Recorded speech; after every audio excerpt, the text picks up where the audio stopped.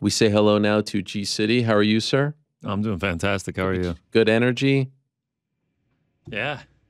Good that- energy. International Fight Week. International Fight Week. Uh, how about Valerie? I mean, just pouring it all out there for All us. time. Very emotional.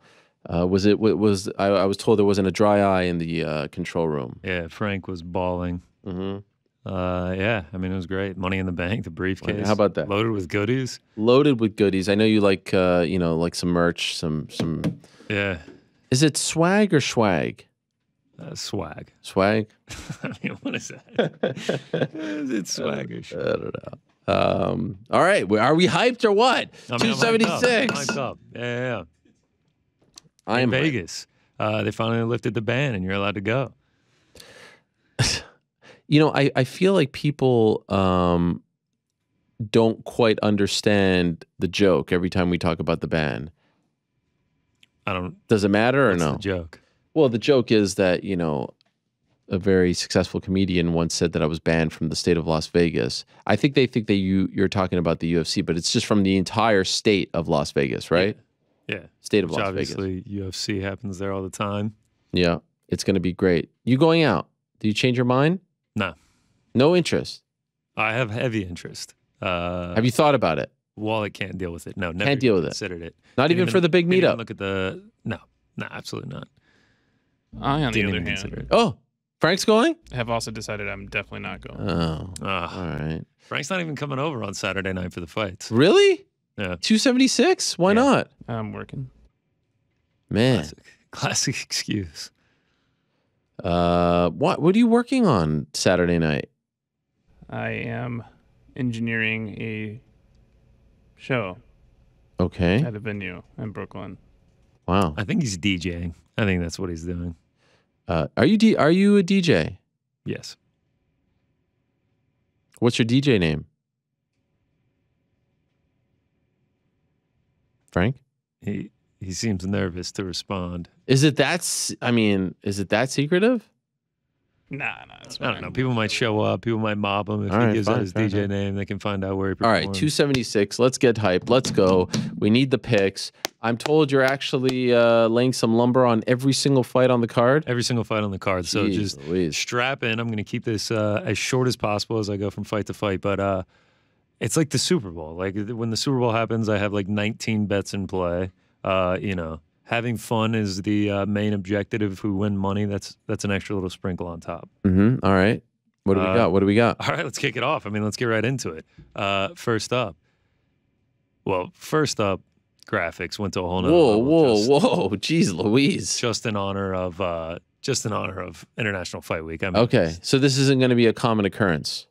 I don't know. I, th- I think it might be. It, it didn't take as much efforting as I thought. We got the flags. Every uh, fighter's uh, nation Represent- represented. Yeah. Uh, even Stoliarenko's uh, Lithuania, and uh, we got a nice gold trim. So, uh, gonna give myself the old Barry I don't H. know if I I don't know if I see a gold trim. Where's the gold trim? the words Oh, are in gold. okay. Well, that's not a trim. That's a font. Uh, gold foil is what I should have said. Okay, fair enough. It's very nice.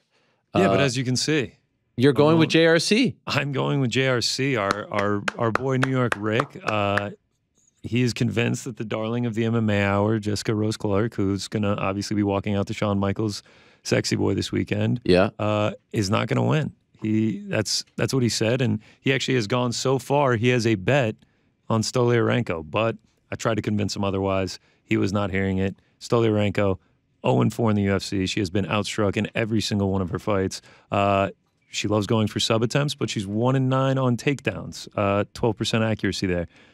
Queen of the arm bars. I know last time. I know you're gonna say it. You're gonna say, dude, Jessica Rose Clark got arm barred last time out by Stephanie Egger. She went through that. She had to go through that pain of getting arm barred. Now she's not gonna get arm barred again. Oh, I was very impressed with her demeanor on Monday. Uh, sorry if you heard me moving around. I was just putting on my money. Yeah, we all heard it. Yeah. I, I was putting on my money in the bank slides. No, I was putting on the slides. At the, oh, really? yeah, Really? get comfortable here. Um, and of course, classic New York Rick move. I mean, everyone's excited. Everyone's pulling for JRC, and he has to go the other direction. I mean, So confident in her that he he placed a wager on Stoliarenko. What is Stoliarenko? plus 140, I think. I, I think she's going to only become a larger dog as as the week goes on. You think so? I mean, I took the Jessica Rose Clark on like Monday morning at minus 128, and she's like minus 150 now. Oh wow. Yeah, right, I man. like it. I think people are in on JRC. All right, let's keep it rolling. Andre Muniz. I mean, Mhm. you saw it. You saw it on Monday in the International Fight Week draft. He was my first pick. I am a huge Andre Muniz fan. If this hits the the mat, which I think is going to, Sean Strickland took Uriah Hall down four times. Uh, I think Andre Muniz is going to be able to do the same. Once it hit the mat, just watch the man work. Third degree BJJ black belt, very skilled offensively with it. 15 of his 22 wins are by submission. I think he gets a number one here. Six and zero in the UFC. Uh, let's move him on to seven and oh. zero. I like it. Next up, DDP, Dricus Du Plessis. Well, not bad. Uh, close enough. not bad. I, I was a little bit nervous as I was going that. By the way, I didn't. I'm, I'm shocked that I didn't think of that. Think of what? DDP. That's what I said. I first heard that from Jed Meshew, No Bets Barred. Shout out to him. He Yeah. said DDP, and I was like, wow, this is my first time hearing DDP. I love it. It's sticking just as much as JRC is. Oh my God, DDP is, and you know who DDP is, right? Mm. Mm. But you don't get the reference. Mm-mm, no, Diamond Dallas Page. uh, nah. I just thought it was a cool nickname. Oh my God, no, he's one of the all-time pro exposing me. wrestlers. I was gonna say, I'm guessing this is a pro wrestler. You're just Yes. coming off your wrestling interview. Yeah. You're Oh, me DDP. DDP is a great name, but it's Dricus Du Plessis. We spoke about this. months- Du Plessis. Duplessis. Yeah. I was studying French on on the train in this morning. I'm not even kidding. I, I you nailed it in the pre-show. Yeah, yeah, I know. I get a little bit nervous, you know, in front of everybody, though. Um. I mean, fantastic fight. Uh, originally, it was like number two on the card. Now it's number four, somewhere around there. Fantastic fight. Cannot wait for this one. Uh, everyone's talking about DDP's only path to victory being like KOing Tavares. Uh, but I actually think he's a little bit underrated as a grappler. We saw him do it a little bit against Trev- Trevin Giles, got two takedowns there. I don't think he's afraid to go to the mat. He actually has more submission wins than he does have knockouts. Um, and I just think I, I believe in the skill set of uh, DDP, and I think he gets it done against an aging Brad Tavares, uh, either by knocking him out, landing a big shot, or he does go to the ground and he sinks in a choke or maybe a guillotine on Brad Tavares, which is why I'm not only taking DDP, I'm taking the fight does not go to decision at minus 105. Drake is, I know Tavares goes to a lot of decisions. He doesn't have like fantastic finishing power, but you're giving me a guy who is now the favorite in this fight at essentially even odds for it to not go the distance. And he has 18 fights, win or lose. He has never seen the scorecards, all 18, finished inside the distance. It's just out of principle. It's just like Shavkat last week. They gave it to me at minus 155. He had never seen the scorecards. I just have to bet it in a situation like that. I just, it's just a principle of mine. Obviously, you know that I agree with this one. He was one of my picks. I love it. Yeah. Yeah. I'm excited to fight. Uh, I'm excited to see him fight, man. By the way, I saw a lot of people saying that I had horrible picks. I mean, this is crazy. we're going to find out this weekend. That's, that's the only way. Well, it was mean, a lot. It was a lot of pandering, you know, on on your page over there. It's like everyone's like, "Oh yeah, you killed it." I'm like, "What are you talking about? Listen, I think if you had posted the graphic of the draft, there would have been pandering to you. you think so? I think so, yeah. All right. I think it's just because of whose page it came from. All right. Ian Garry, the future. Future A of the card, you know, we got future B as well, and Maycee Barber, two futures on the card, future of men's MMA and women's MMA uh, with their nicknames. Yeah, I'm going with Ian Garry. I've played him in his two previous fights. I'll continue to play him here. Uh, the guy gets a lot of hate. I, I feel like he. I feel like people talk down on him. You know, he's not going to be who he thinks he's going to be. I feel like he's a little bit more savvy of a fighter than people give him credit for. Um, I think he is a more technical striker than Gabe Green is. In his last fight out, uh, I felt like he just, as he went on against Darian Weeks, he just got better and better as he was downloading information. I feel like uh, he does have a decent fight IQ. And in this one, big cage, they're not in the apex, unfortunately, but the bigger cage, I think it's going to benefit Ian Garry, how much movement he uses. I think he's going to be able to keep it at range and uh, win a 29 28 close decision over Gabe Green. I like it. I mean, you know, I picked him as well. So it seems like you're what what is it called in the business? Trailing a lot of my picks. Tailing a lot of Tailing. your picks. yes, I'm tailing a lot of your picks. Thank you. Appreciate it. Uh, let's keep it moving, though. The fight for the most wins in UFC history. Miller Cerrone, two legends going at it. I'm not going to pick a side in this one. I'm going to go with the under two and a half here. I mean, it's just two aging guys. Cerrone kind of seems like he's shot. finisher be finished type guy. Miller, eight of his last 11 fights have not seen past the two minute mark in the second round. Uh, Cerrone, his last 20 fights, 14 of those have not made it over two and a half, eight of them ending in the first round. I would not be shocked at all if Jim Miller goes out there and finishes Cowboy Cerrone in the first round. Um, I just really can't trust a guy who's 06 and 1 in his last seven fights. Um, I just do think someone gets finished here. The only reason I'm not on Jim Miller is it because it is at welterweight, and I think that benefits Cerrone much more uh, than it does Miller. All right. Next up, Jalen Turner, the Tarantula. Um, you mentioned on Monday. Yes, I'm going with CBK here. I think that's probably the only time this month I will go against CBK, though. I mean, both dudes are super skilled. Brad Riddell, obviously a world class striker. I mean, he is fantastic. Uh, like I felt like he was just skyrocketing before that Fiziev fight. Great fight. Unfortunately, he got he got finished in that one.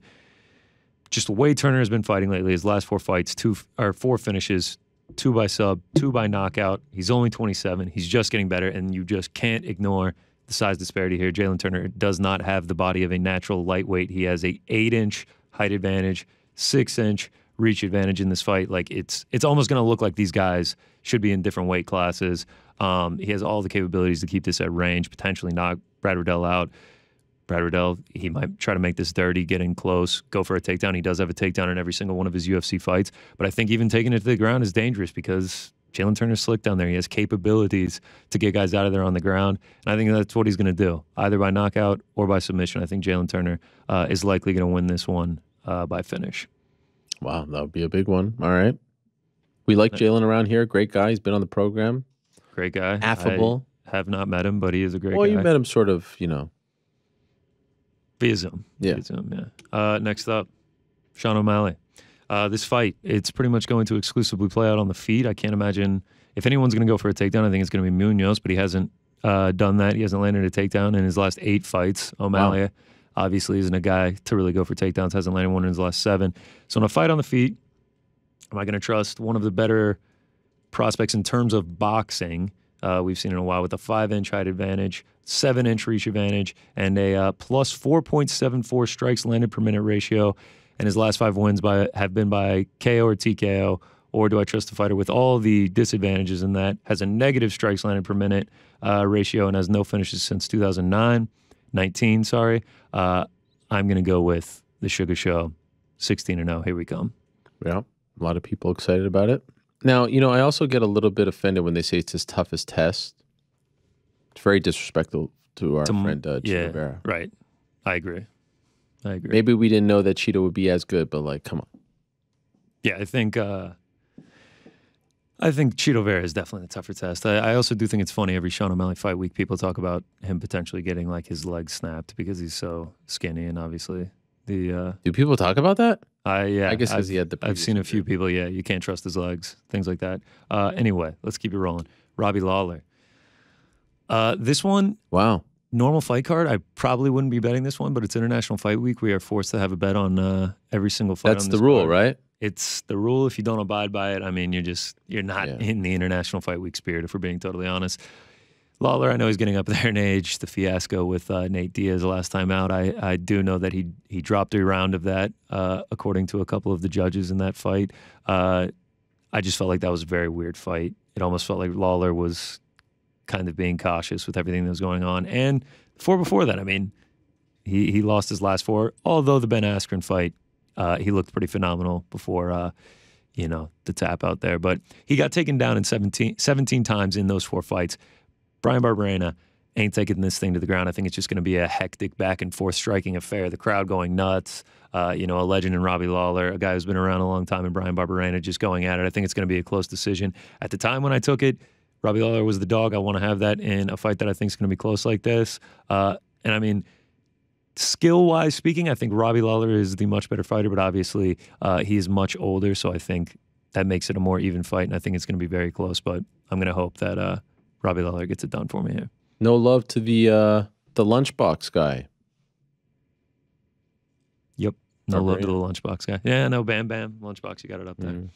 Uh, all right, next up. We are also in agreement on this one. Alex Pereira. I will take him uh, money line. Another fight that I may not bet if it's on a normal card just because of the unknowns going into it. If you're betting Sean Strickland, you're probably assuming that he's going to go for takedowns. If you're betting Alex Pereira, uh, you're assuming he can either avoid those or land a power shot on Sean Strickland. I'm just going to make the assumption that I think, uh, you know, the glory double champ is going to be able to land something here, uh, maybe wobble him or avoid the takedowns uh, to at least try to get a decision if he can't get him out there. I mean, he's obviously the better striker here, definitively more power, speed, height, reach. Probably the only thing Strickland has going for him is the volume uh, and the pace that he is able to put on him. But Pereira in that third round against uh, Bruno Silva, I thought he was impressive. I mean, he clearly pulled away from the fight in that round. That could be speaking to Silva's uh, gas tank, but uh, I trust him in the third round. I'm going to trust him in this fight, not overconfidently in it. But like we said, we're having a bet on every uh, Yeah. single fight on this card. So we will be rolling with Alex Pereira. Perfect world. He knocks out Strong Strickland. Adesanya knocks out Cannonier. We get that crazy title fight. Adesanya, Pereira three. Oh man, I want to see Pereira versus uh, Adesanya. That would be fantastic, especially to see in a UFC octagon. All right, let's get into the co-main and the main okay. event. We're getting kind of wacky here All right. in the co-main. I'm going with Alex Volkanovski. I'm biased. We know this. The trilogy. I'm going to continue to guy, to ride with the guy that already has two in the bank. Uh, I think you said something similar on Monday. I think he's just continuing to make improvements uh, in his game. He just impresses me every single time he comes out. Where Holloway is probably bringing in a very similar skill set that he had in the last fight. Not saying that's a skill set that isn't unbelievable. I mean, look at his last two fights. He's landed like 800 significant strikes over the last two fights. I mean, he's unbelievable. Uh, but I just think Volkanovski, he is continuing to level up. He's already beaten him twice. Um, and I think he gets it done here for a third time. I think it's going to be another close decision, um, which is why, too juicy not to. New York Rick showed me this line. I had to take it. Max Holloway by split decision right now on DraftKings at plus 1100. Uh, yeah, I just felt like in a razor thin fight. We've seen uh, the judges, you know, these very close fights. We've we've seen a lot of split decisions lately. Would not be surprised if this one goes to a split decision. I feel like if Holloway's going to win, it's going to be by decision. Yeah, that's going to be tough. That is going to be tough. I hope that it's just decisive. Obviously, I do don't- too. I- I, really do like, too. or or you know what? I sh- uh, maybe I should say definitive, right? Like I don't, I just don't want us on Monday to be talking about this guy Rob, this that, like just a clear cut winner. I hope there's a finish. I hope someone. Oh, that would be the something. best. That, would, be, just like That would be the best. And also, if it's here's the thing, I feel like people aren't talking about like if Holloway wins, are they going to do a fourth one? Like, wouldn't Uh, yeah, I think you would have. who to, just right? opened up a Steve Weiser back there? What's going on? Steve Weiser. I'm gonna have to use. What's happening over there? Uh, Um, is it vacation time? I mean, July fourth coming up. If he wins, if Holloway wins, do they run it back a fourth time? yes, yes, absolutely. That's crazy. That's absolutely. You think they wouldn't? No. Giving him a. You don't think they would? They're giving him a third one off of two losses. They wouldn't give Volkanovski another match after. oh no, no, no! I, I I actually think they are. It's just a crazy thought. No, yeah. I mean, especially if someone wins by finish. If Volk wins by finish, it's done. Trilogy over. He puts the stamp on it. He moves on, closes the door for Max Holloway. Max Holloway wins by finish. It's time to go for a fourth one, without a doubt. Man, I think even by decision, yeah. I think if Holloway wins, there's a fourth one. If Volkanovski wins, shut and close case. yeah. By the way, what do you think of the Josh Emmett stuff? The fight. Like, I, I, you think he gets the the winner if if Volkanovski Oh, wins? oh, oh. I don't know. I don't know. Yeah. I don't know what they're gonna do next, but uh yeah, I don't I don't know. I don't I feel like no. I feel like the fight is Emmett versus Allen. that would be a Nine versus five. That would it be at the end of the year. fight. Yeah. Whoever wins gets the Right? shot. Yeah. I mean, who knows where we're gonna go here? I mean, Yeah. Holloway could win. Who knows? All right. I got to just say, I'm so excited for this fight because this Oh to me like represents the best of MMA. And also, to Holloway's point earlier this week, regardless, like I, I don't know where MMA fighting has him. I could look it up right now, but he's got to be in the top ten. Holloway. Obviously, I, I have Volk as number three. I think you can make a case at number two. I think you can even make a case if you want at number one. Usman been champion a little bit longer. Point is, he's a top three. Um, you know, he's a top three pound for pound fighter. I don't think anyone has him below three, correct? And then you have Holloway, who's a top 10. It's very rare to have two top 10 guys fighting for a belt in their division and they're worthy of it. It's not like someone's getting it, you know, by some weird way. It's not like so, you know, like Yeah. this is this is special stuff. Oh, This is very special incredibly stuff. special. I mean, the the ten rounds that we've seen so far are so you know very close that we're having a third one despite one guy winning the first two. According to the UFC official rankings, Holloway is sixth, Volkanovski is two. That's where they rank them pound for pound.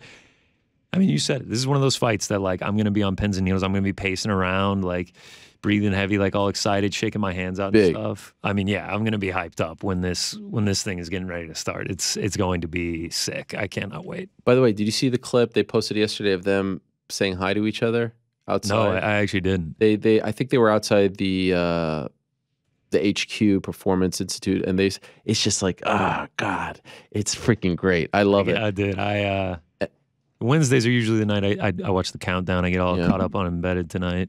Uh, yeah, so hopefully I'm gonna by the way gonna see all that stuff. what about uh what about the fact that Max never says his name I'm sticking by this one The fact that you said that, this is what I said. The fact that you said that, you were like, nah, you never Yeah. say his name, and then he was just like, nah, uh, vo- vo- his- no, he didn't even say that. He was like, nah, I say his name. He's like, I refer to people as him and her, you know.